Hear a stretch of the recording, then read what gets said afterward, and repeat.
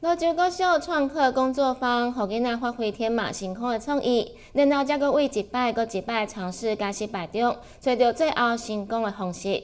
虽然过程当中会拄着困难，但是学生游玩相当的认真。老师焊好诶。看到家己焊接完成的线路，伫个接电了后会使顺利亮灯，大大振奋学生的自信心。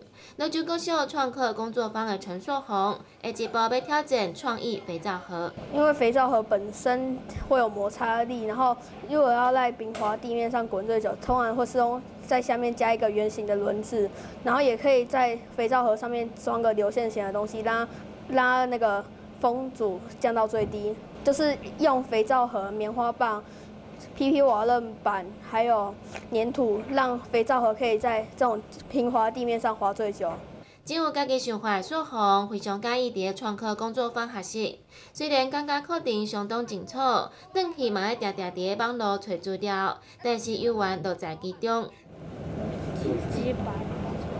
含住，